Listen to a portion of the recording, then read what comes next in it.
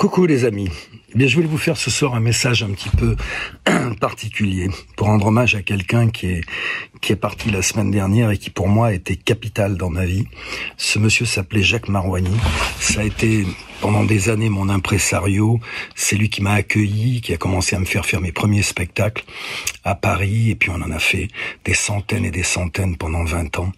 Euh, c'était mon ami, c'était un frangin, c'était plus que ça, c'était c'était un papa pour moi. Euh, même si on n'avait que dix ans d'écart, pour moi ça a été un papa parce que je connaissais rien de ce métier. C'est lui qui m'a initié à ça.